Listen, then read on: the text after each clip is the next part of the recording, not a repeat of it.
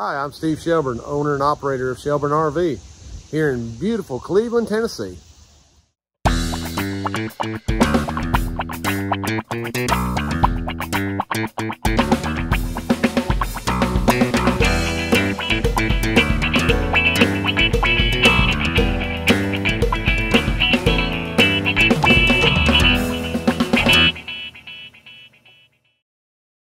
Welcome back to Shelburne RV. I hope everybody had a, a great and happy uh, Thanksgiving with your families and you got plenty to eat and enough time off. That's always important to spend time with your family. But welcome back to Shelburne RV. We had a uh, we had a good time with our family. Didn't have much going on. Did did have this I had to deal with while while uh, you guys were off on break. You know that you, you, try to run a business and then, you know, over the holiday weekends, you got people up here on the property poking around and looking at your campers and seeing what they could steal. And, you know, it's, it's just, it's just the world we live in, unfortunately. And that one there set the alarm off on the building. So at least, at least we got notified that there was a problem and we didn't catch him, but at least the siren kind of scared him off. But, you know, that's just kind of what we deal with nowadays just had to keep an eye on everything. Just, just sucks. Work hard and then somebody tries to steal it from you. But we're back here on a Monday. It's uh, it's not really sunny out, but it ain't freezing. So actually pretty nice outside today. We've got a, uh, we've got a little bumper pull in there. Lewis is gonna be working on some blowout damage. Um, that little sunset trail in there. I think they've got the, uh, they've got the uh, uh, roof sealant done on that. I do have a Schwintek slide out coming in today on a, on a big Tiffin motorhome that's got some problems. And I've got another basement air that's being dropped off today that we've got to do some work on. So I'm gonna get the boys going here this morning and I'm gonna take you around and we'll kind of see what's going on here. Welcome back. So Lewis has been working on this Lance bumper pull camper and we got done doing some other stuff with it, but it actually had some blowout damage up underneath there. So he's gone in there, you can see the metal patch he's got in there and got everything sealed and all back ready to go. So this one here, just got to put the tire on and it's ready. So it's Hurricane Class A that came in. We've we sealed tech this thing multiple times and he still got some water in one of the cabinets right here. Now, we didn't see anything in the seal tech around those ladder rungs, but it is a little suspicious right there. We're gonna go ahead and seal that up along with the lights and that little bubble light you see right there. But he's had one other little issue in here. Um, that we've got going on. And you can kind of see it right here in the ceiling. You can see that stainage right there. So something's been leaking in right there. Let me take you up on the roof and kind of show you what we found. So we got the looking up here on the roof and this is about the area where we had the problem. Now, Mr. Scott, when we looked at this originally, we pulled this loose and there was a bunch of debris up in here. So he's washed this off now. We're gonna go in here and seal around these screws. And the seam obviously doesn't look like it's been sealed very well. And then you can see the insert trim. That's a little challenging because it's painted. Um, so you can't just put a white or a black in here because it ain't gonna look right. It's still, it's still in pretty good shape. So we're gonna get this insert trim put back in there and then seal across the top of that and see if we can slow that leak down. Okay, so Lewis and I I didn't get no video of it because it really was a pretty simple fix on that Winnebago basement air. He came in and of course he has the original, that is the original control board that was in that. And so we were not getting any zone two compressor whatsoever. So I updated it with the new one, put it in there. It, it came on, clicked and went boom. Look at that. Burned the tap right out of the back of the board. So I've never seen that before. Um, and that's actually on the outdoor fan high relay tap that it blew out of there. So yeah, that's kind of a first for me. So I called our friends over at Airxcel and and uh, you know, I actually put another board in it and we ran it and it ran fine. So evidently we just had a, a weak component on that board. So yeah, it's just kind of strange, but but we did we did run it. We ran it for about an hour. We had 23 degree uh, uh, temperature drop on that. So um, ran great. That was the only thing wrong with it. The amp draws were within a half an amp of each other. So we got him all fixed up and he's gone gone out the door. So that one was an easy one. I really didn't take no video of because it was just a it was a quick, simple fix, just a, just a bad control board. So Lewis and I had a Winnebago Ultimate Advantage come in. A customer stated that the basement air had a problem. And I'm gonna show you this. I don't know how well you can see. You can't really see with the light right there. Let's go over here to this other side. Look at that ductwork right there on the discharge. Let me see if I can get a little better look here. Let's see if we can get up here and see. So Lewis has got this basement air out of here now. And, you know, the return looks pretty good. You can see where all that got burnt. It's all burned up. So now let's look at, there you go. That is all burned up. But now look at this. That right there is the reason why we tell you to keep the filters clean. This this air conditioner, even if we had fixed that, it, that was gonna keep it from running. So a little bit of a blessing that we pulled this out. Now we're gonna go ahead and pull the cover. We're gonna clean the whole interior, make sure the drain's done. Um, definitely go ahead and change the bearing on the outdoor fan motor because if we gone this far, that's one thing I always have trouble with. We saw a few videos back where we had this little shadow cruiser that had some, all that wall was rotted out and damaged because of that window. So now they've got the new paneling in it. They've got it all sealed up and ready to ship out. So Lewis has got that uh, basement air on that Winnebago you saw yesterday where the, uh, the exhaust had actually burned up the discharge. We actually got the unit all cleaned out. We ran it it runs perfect. I've actually been in touch with Winnebago to see if I could buy that uh, discharge assembly. Unfortunately, that is no longer available. So, as you can see, it's pretty bad. So I've contacted my friend George down at G&L Services and he's actually gonna build me a new one of those. So we'll take it all, take it down here and drop it off with my driver and he's gonna run it down to Mr. George and they're gonna get me all fixed up. But unfortunately, that's the way it goes sometimes with some of the older RVs. I mean, I would have thought this was pretty much the same all the way through, but evidently it's not. This this particular one is a little bit different, so part of it, I guess. All right, so we had this 4KW generator that came in, oh, a week or so ago, and this thing was loaded um, with mice, squirrels. I don't know what got into it something got in there and just made the doggonest mess you ever seen in your life. Um, I cleaned and cleaned and cleaned on it. The customer actually brought a whole bunch of parts uh, to put back in this thing. I put it all back together. Um, now we're having, uh, there's something going on with the stator. So, you know, at what point do you just go, hey, we've spent too much money. Um, I just don't know where the bottom is on this thing because because obviously we don't know what's been chewed up. So we did have a 4,000 um, watt generator um, in stock that we were able to pull out of our stock, brand new and that I've been kind of sitting on because they've been kind of hard to get to get a hold of. Uh, and it is going on that little Class C Freedom Elite right there. And so we actually got the generator installed. Everything was, was good. Ran for like two minutes. Ran out of fuel. So I got to investigating it and I and I got the following the fuel line from the generator back through the chassis to the tank.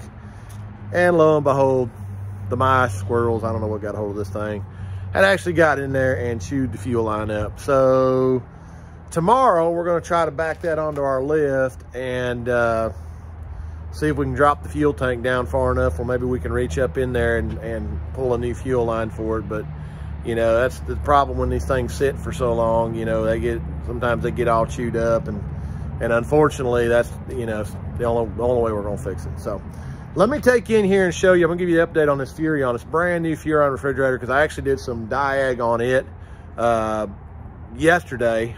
So let's go in here and talk about it right quick.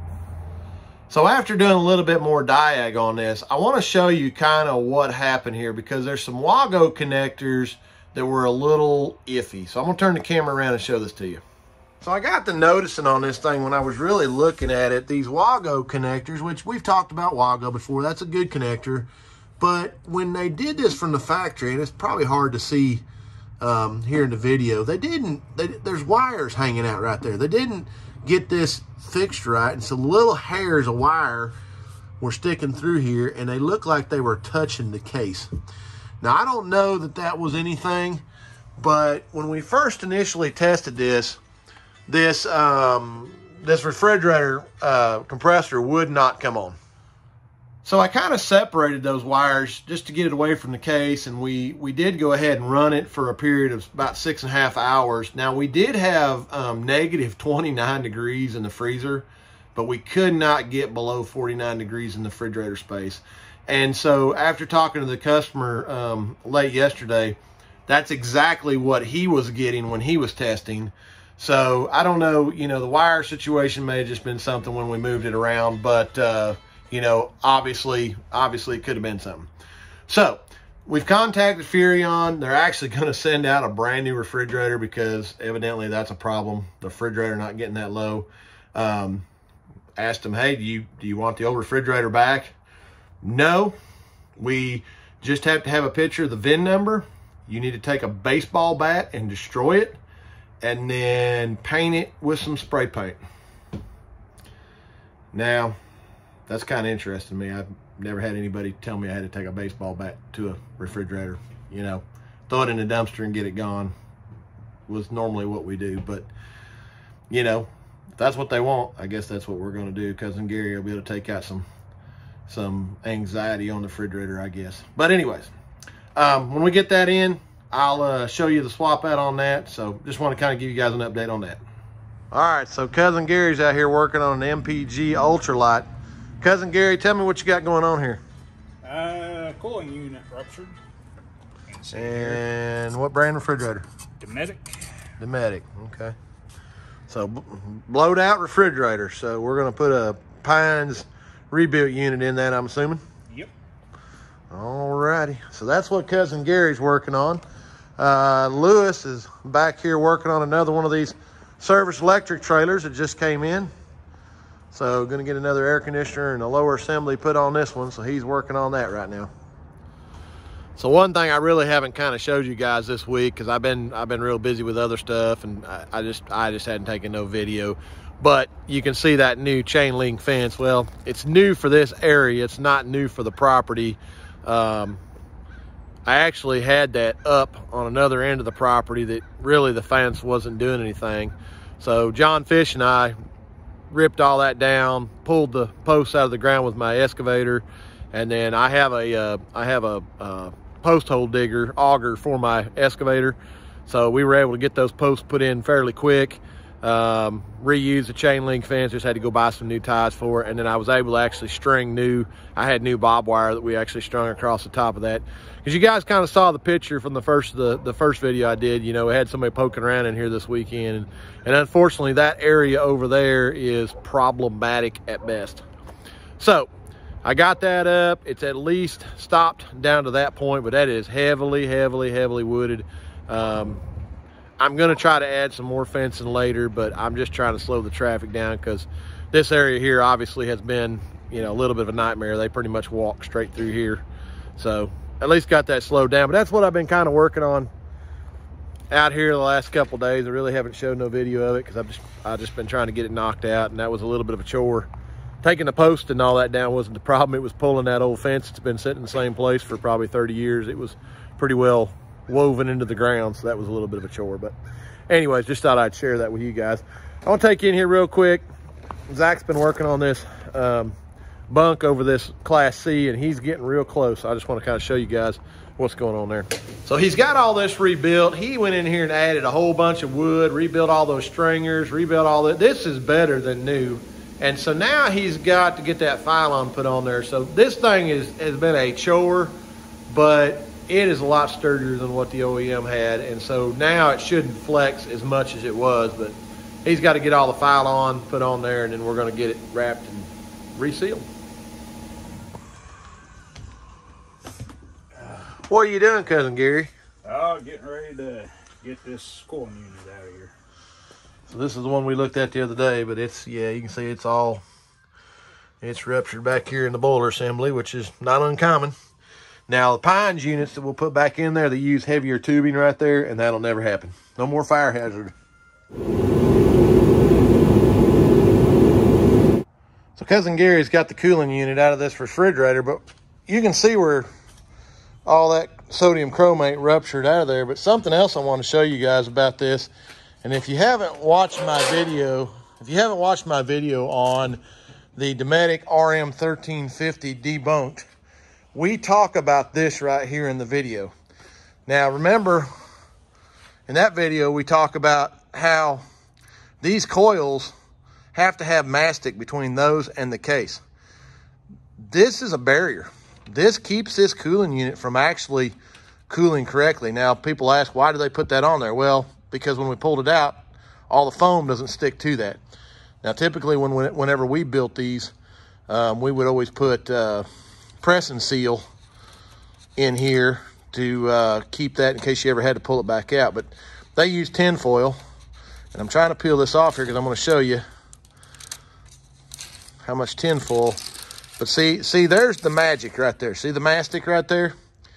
The problem is that mastic needs to be up against those fins that are inside the refrigerator. That's what transfers the temperature in here. This is a barrier. And as I said in the videos before, you know, we've seen significant change in temperature with this between that. So that's just the wrong way to do that. When we put that in there now, it's all masticed. The mastic from the coil is against those fins inside the refrigerator. And you can see Cousin Gary's got this one just about put all back together. But this is obviously an Amish rebuilt unit. And they go in here and fix this problem in the boiler assembly, put heavier tubing in there, and it never will rupture, never have a fire problem. So now that we've got it updated and have it in there, we'll have significant temperature change just because of the tinfoil being gone between the coil and the actual back of the refrigerator.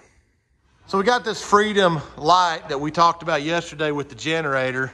Now we've got the fuel tank dropped down just enough where Brandon, as you can see, is way back up inside there. And he has found the spot that the mice have chewed in. So we're gonna pull that out and get that fuel line piece back in. Okay, so you guys have seen this leprechaun. It is back again. It's been like the bad penny around Shelburne RV, and it keeps coming back because he has leaking going on in that top bunk. I finally figured out where the leak is at. Let me get up here and show you what's going on. Okay, so the panel inside there is off. So I was able to look way up inside there while the boys put the water to it. And you can see it's still wet. And what I got to noticing was the water was dripping in this area. So I took a flashlight and shined it from the inside out. And we got to noticing, now I have poked through that. That's something that I did. It wasn't like that. But you can see it's like the fiberglass had some bad spots in it and they just painted over it. And now it's just kind of wore itself out. So the water's leaking right there. So, and there's another spot right there. Look at that. So, you know, we've spent a bunch of time clearing this and sealing everything and kind of find out it's a failure in in the uh, in the fiberglass. So what's the solution for the C-Class with the holes in the fiberglass? You know, the bad part is I was talking to the customer about it and, you know, fiberglass, inside, outside, more paint. That's a metallic black, which is gonna be, it's gonna be a pain to paint, you know, and get it matched right and do all that. So you know, how much money does the guy want to spend? I mean, it's just it's just such a nightmare on on the repair side of it. Um, now, one thing that we did talk about was, you know, wrapping the top piece of that with diamond shield. Um, you know, that diamond shield, once you put it on there, that stuff's impossible to get off. Now, the only bad part is that stuff's only good for about you know, three years and it'd have to come off anyways, but he's not planning on keeping it that long. It doesn't sound like. So, you know, again, what are the options? It's, you know, it can be very expensive or low cost, but you know, I think for the moment we're going to try, we're going to try the diamond shield and put it on there and see if that'll, that'll stop it. But you know, it's just a, it's just a bad deal. So the boys have pulled in here a big Seneca Super C Freightliner front end and customer brought this in saying that the floor had some issues. Now Brandon's gonna kind of show you, go ahead and show us what you got going on there, Brandon. That floor, you can see that, it's just got some, just got some problems. Now, we got the noticing down here, and you can see I've taken this panel that was in here out. Go ahead, Brian. You can see where that has just really sagged down. Now, the thing that we noticed was there's moisture in here. All this has got some moisture on here. Now, you guys have seen this stuff before, this basket weave plastic material. This is the stuff that we normally see on the bottom of slide out floors and that kind of stuff. And these things like to wick water real bad. So if that kitchen sink, which is above there, has had a leak at some point, it probably has caused this, or this water has moisture from the outside in with the heat has caused some of that issue. I don't know. But as you can see, this is going to be a little bit of a chore. Not quite sure how I'm going to resolve this just yet. So Brandon pulled up here a little uh, Class C Coachmen Freelander. And you can see the Seal Tech machines in here. So they've been doing some Seal Tech work on it. But I wanted to kind of show you guys this. Look at that right there, where that has separated. Screws are pulled out of that aluminum bar. Now you're gonna ask, what's the what's the solution to that? Probably gonna pull all this out and we'll go in here with some some rivets and rivet that all back up and then reseal it because it's not too bad over here on this side. But obviously, that's a problem. Well, what a week. Had a lot going on here at Shelburne RV this week. Appreciate everybody uh, tuning in and watching. Got to see some of what I did this week and you know, it's just it's just amazing all the different projects that we run into and the problems and all the other stuff that we do. But I appreciate y'all. Appreciate y'all watching and hanging in there with us. We got that uh, that Furrion refrigerator is out. Uh, the new one actually came in a little bit ago and cousin Gary got it installed. So that one there, we're going to dispose of that next week. So you get to see see us do that because I don't have a ball bat here. So we got another little way. We're going to get rid of that. But appreciate everybody watching. Hope everybody has a great weekend. And remember that this video is Cousin Gary approved.